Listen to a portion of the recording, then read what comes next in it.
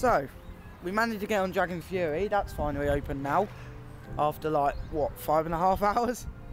Um, but currently stood outside the room on the broom.